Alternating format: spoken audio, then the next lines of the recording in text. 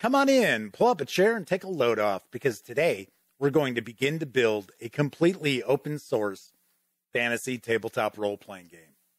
That's right. I'm Jeff McAleer, your host here at the Gaming Gang channel. And first, I want to point out this is all off the cuff. None of this is scripted. And if you follow the Gaming Gang, you know many of my videos are like this. Also, this video is in some ways a response to Open Game License 1.1, or I guess now we have to call it Open Game License 2.0, as well as that ridiculous announcement Wizards of the Coast made by way of D&D Beyond yesterday. So I know there are a lot of people out there they're very very upset about the open game license and other things currently going on with Wizards of the Coast. They're frustrated, they feel betrayed, pissed off. And I have to say our hobby should never make anyone feel that way. Our hobby is all about fun, excitement, community, having a good time with your friends. We should never feel bad because we want to play a role playing game ever. So this video is not about the open game license. Want to get that right out there. It has really nothing to do with it, but it is being spurred by the open game license fiasco. Now, I had planned on rolling out a monthly series where I was going to look at old TSR D&D modules and discuss them and playing them at your table now and what kind of adjustments you could you could make and how you could utilize them with a lot of different role-playing games out there that didn't have to be D&D. Well, with the current atmosphere as it is and I am not thrilled with Wizards of the Coast either, I am not going to be sharing that series. So what I was thinking about is just kind of talking about us creating a completely open source fantasy tabletop role playing game and how it's not really Herculean task to do so. Now, there are things about fantasy role playing games that take a lot of time, effort, and intellectual horsepower, right? And those tend to usually break down into the combat system, the monsters and NPCs and creatures, things like that, and the magic system. So those are the three things that really tend to derail a homebrewed role playing game. So I will talk about those aspects of a fantasy tabletop role playing game in later videos if you like this video. But today I want to talk about attributes and a basic action resolution system. What is the mechanic that we're going to utilize the vast majority of the time to resolve tasks and challenges which you want to roll dice for? You don't want to roll dice every time a character does anything. Oh, that door's unlocked. It's not stuck, but I still need you to roll to open it. No, that is never supposed to be the approach to a role playing game. So we want to stick to relatively easy mechanics to wrap your head around, but we are not going to be dipping our toes anywhere near the Dungeons and Dragons system reference document or the open game license. So please keep that in mind. This is supposed to be a lightweight, fun video series that I am proposing. So I am going to share ideas, kind of bounce them off of you, kind of spitball this. And if you like these ideas, please let me know in the comment section. If you hate these ideas, please let me know in the comment section. If you feel that I'm not the brightest bulb on the string, which is the case sometimes, and you got a great idea, please let me know in the comment section. And of course, if you would like to see me continue this series of videos, you guessed it, please let me know in the comments section. So let's swing on over to the other camera because I have a whiteboard. Yes, granted, it's a cheapo dollar store whiteboard, but it's a whiteboard nonetheless. So let's start off. Let's give this a title, just a working title, right? We're going to call this the Gaming Gang Game. Reason why is in the early years of the Gaming Gang, and even still sometimes to this day, when I'm at a convention or Elliot and I, when Elliot was part of the gang, were covering conventions and we'd go up to a publisher that didn't really know us and we weren't overly familiar with them and we would introduce ourselves. A lot of times the person we were talking to would ask, the gaming game? We would have to say, no, no, the gaming gang. And of course we had business cards and stuff, but you know, a lot of times people didn't look at the card. So I got a chuckle calling this the gaming gang game. T triple G. So, as I mentioned, we're going to talk about attributes as well as our core mechanic. And I don't want this to be like an hour long video either. I just want to share some ideas, bounce them off you. If you like them, we'll keep stuff in. Do want to mention I do come from an old school Renaissance mindset that is mainly because I started role playing in 1978. So there is that. I like that feel. Now, that doesn't mean I am just going to regurgitate uh, the same mechanics that we find in, you know, D and D and you know BX, Advanced Dungeons and Dragons, or anything like that. But I do like the old school mentality. But I am also a fan of lighter weight mechanics and a simple mechanic which most of the gameplay is based around. So, do you want to point that out as well. So, the first thing we're going to talk about are those attributes. And I know some people out there think, well, you can't call things strength and intelligence and dexterity because that's in the SRD. It's open game license. That is absolutely not the case. Those words existed long before Dungeons and Dragons was even a thought in anyone's head. But let's not use those terms. Let's use different terms. So, first off, let's say we've got might. And of course, might will be important to fighters, martial type characters. So that'll be an important attribute for them. Then we've got agility. And agility will be important for, let's say, thieves, archers, right? Because we want to still make this game feel kind of familiar for people who have played fantasy role playing games. We just don't want to repeat the same exact mechanics and that which you would find in other like retro clones and things of that sort. Let's have fortitude. And the way I'm looking at this is fortitude will be very important as far as your health points. So the way I'm kind of proposing, and, and this is something I'll talk about in another video, but where your fortitude is kind of your base as far as your health points, which of course is really how much damage you could absorb before taking a dirt nap. And then your archetype, your sort of character is going to modify that as well as as you advance, which I'm not looking at having levels, I'm looking at having ranks because then I can use that term for the player characters. I can use that for monsters, spells, rank, I like that term. I like that term rank. So let's say you had a fortitude of 14, then you're going to start off with 14 health points, regardless of the sort of character you are. So if you were a magic using character, then you're still going to have those 14 points.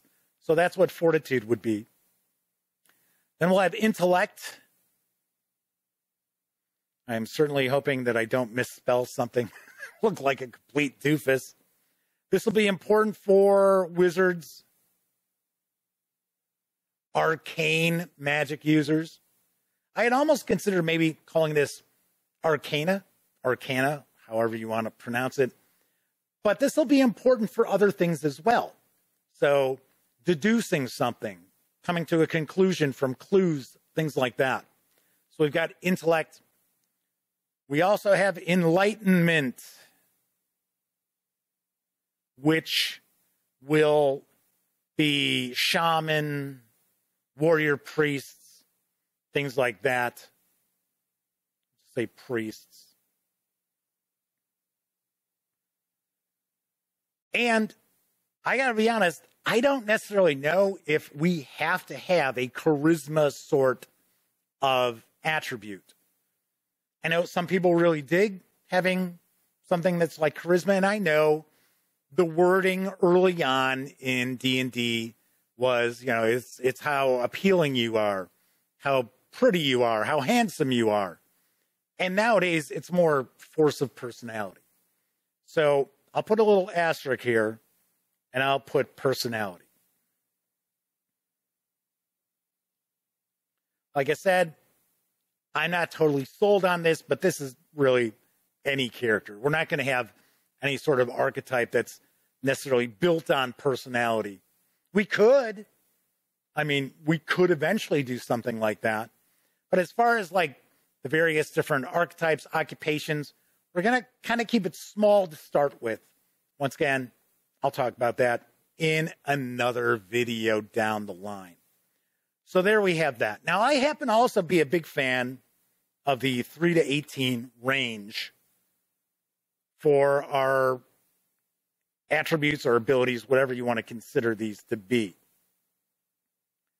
Once again, looking at keeping something familiar, we're not looking to make something radically different just for the sake of being radically different because that just really doesn't work. So I like the 3 to 18 range. So we've got a variety of ways that we could actually get these scores. We could take 3d6 the traditional old school way and just roll them in order, and those are our totals. We could do that. We could add an extra d6, roll four, and deduct the lowest score. We could do that as well. Personally, what I like is presenting a buy system. So you would have so many points to start off with that you could spend on your attributes and I'll explain why this is important when I talk about our core action resolution mechanic. But I like the fact that you can assign the ability scores however you want. Right? You can you can buy into it. Now, I don't want to get crazy because for one, I don't want our starting characters to be really powerful. I want them to be heroic but I don't want them superheroes right off the bat. Once again, I sort of have that old school mentality. Now, I don't want them to be super squishy. That's why I was talking about the fortitude. So, you know, old school, oh, you're a wizard? Well, here you go. Enjoy that D4. Oh, look, you got two hit points. Wonderful. I'm not going in that direction. But I I do want to make these attributes more important than they usually are in, say, a retro clone. Because depending on the system, especially if you're using a D20 mechanic where you're looking to roll high to succeed, where you're looking to exceed a number, these usually just break down into modifiers. So, as an example, let's say somebody had a, a might of 13 well, they get a plus one to their D20 roll. Now, you could have a might of 15, and depending on the system, that might still only get you that plus one modifier. It could be 13 to 15 gets you plus one. That is a possibility. And then it's usually 16, 17 plus two, 18 gets you plus three, and that's your max. So that's not something I want to do.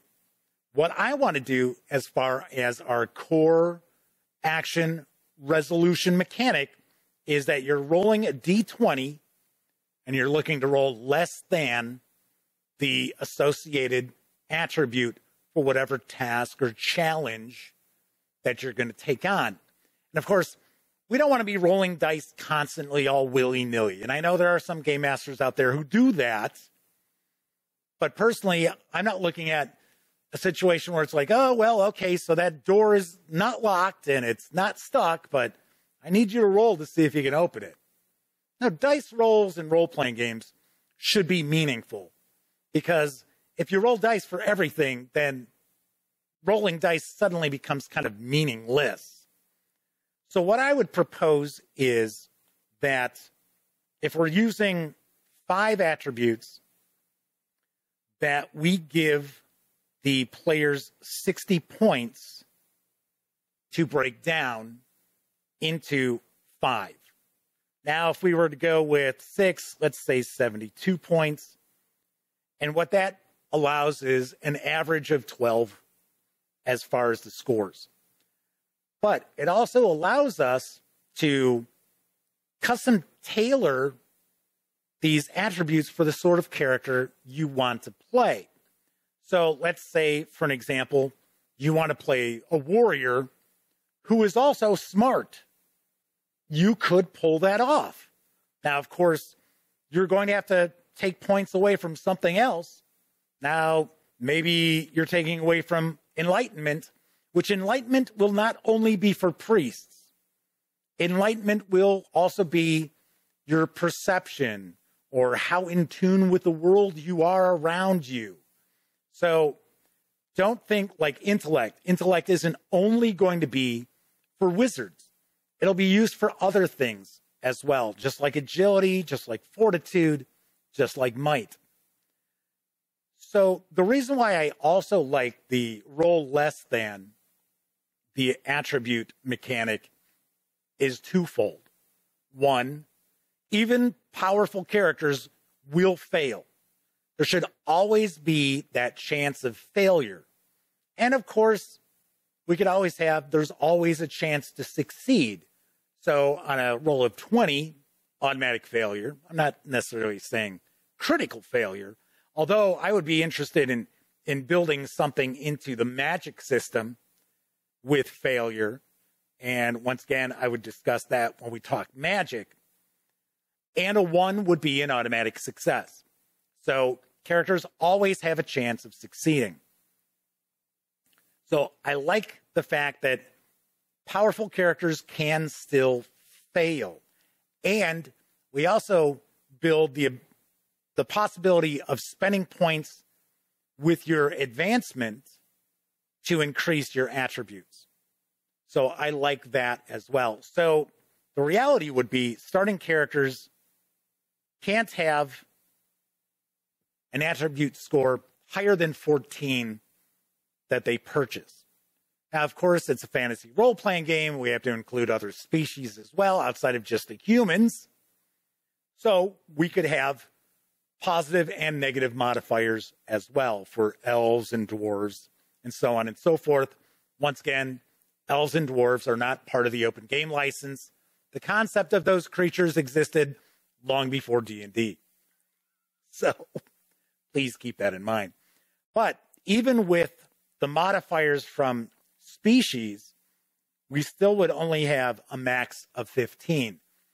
So that would still make characters to have higher chances of success in attributes that they would focus on, but still not be overpowered to begin with.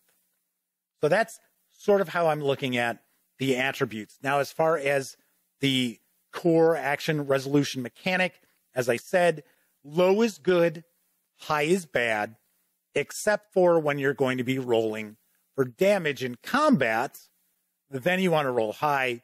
I have a lot of ideas on how to make combat quick moving, but still exciting. Not that typical, oh, okay, I need a 17 or higher to hit. I missed. And that's it. Just like personally, I feel using these attributes numerically as opposed to just adding a bonus to a die roll adds the ability to role play and also becomes uh, very conducive for the game master to do things on the fly. So, as an example, let's say somebody needed to succeed at agility, and their agility is 13, and they rolled right on that 13. So, what you could do is you could make that 13 to be a failure, but, right? Okay, so you didn't exactly pull it off, but maybe something good came out of it. Or maybe you failed, but you're closer to succeeding. Something along those lines. We could even advance it to the point where if you succeed within one, so once again, I was saying an agility 13, I'm showing a 12 here. Okay, so I succeed, but you just did it by the skin of your teeth. You just pulled it off, and maybe something negative is associated with that as well. Like I said, you can you can add in some additional opportunities for interesting situations and role playing far more than just having a plus one or a plus two to your D20 roll. So that is sort of what I'm looking at as far as our core action resolution mechanic and our attributes become far more important for each of the characters and it actually makes them more unique. So it becomes there is a difference between a might of 13 and a might of 15. It's a big difference, not just, well, you just get that plus one modifier. So to start off with the gaming gang game, I would propose these attributes. Once again, if you like personality being in there, let me know. If you want to take it out, let me know. I'm also considering skills based on the archetype the player characters are, but making those skills simply a modifier. I don't want to go into a bunch of details about, you know, oh, okay, this feat does this in these situations, but not, you know, kind of make them not so specialized. They're skills, but it's not like the minutia of that skill is what I'm kind of looking at kind of considering, of course, once again, that would be in a different video down the line. So there you have it. My proposed starting attributes and our core mechanic for our open source fantasy tabletop role playing game. I don't know. What do you think? Like I said, let me know in the comment section. So I've got a lot of different ideas as far as building an open source fantasy role playing game together. Right? This is not something that we would, oh, well, now, you know, we're going to put this on sale or anything like that. Maybe we could compile a PDF and allow people to just grab it for free, or you can sit there and, and plug in whatever sort of mechanics you want into this system. Because that's something else I would like to do is make this kind of modular. So, like as an example, like skills. I was just talking about skills. Maybe just make it some sort of a modifier. Plus, I also want to put a limit on how many modifiers there would be to a, a particular die roll or any die roll. Like, can't be more than two positive or two negative modifiers. You take the highest because I don't want this to become a game of, all right, well, hang on, let me bust out the calculator here.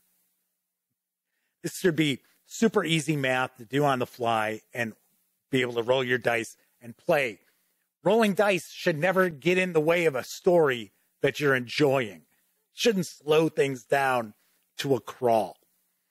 Anyway, so that's it for my first video. Once again, please let me know what you think. If you want to see me kind of push this further and talk about monsters and combat, like I said, I've got some ideas about combat give you a clue opposed rolls and whoever rolls lowest underneath their needed roll is actually going to be the one who does damage. So you could have the attacker actually be taking damage because the defender rolls far better than the attacker did. I kind of like that. Also, I'm not looking at something like an armor class. So it's a flurry of blows taking place during the combat round, and we would have damage reduction. We would also have damage to your armor and shields breaking and things like that, but not getting too crunchy and into the weeds with the rules surrounding them. You know, just a little preview. All right. So if you like this video, by all means, please give it a quick thumbs up. Subscribe to the Gaming Gang channel if you haven't already. If you do subscribe, ding that bell because not only will you be informed when I upload videos such as this, you'll also get to know when my live stream, the Gaming Gang Dispatch, airs Monday, Tuesday, and Wednesday evenings right here on YouTube at 7 p.m. Central. Thanks so much for taking a peek at this video. I hope you enjoyed it. I hope it was, you know, lightweight and, eh, you know, better than poking the eye with a sharp stick. And of course, until I see you next time, here's hoping each and every one of you gets to enjoy plenty of great gaming with your gang.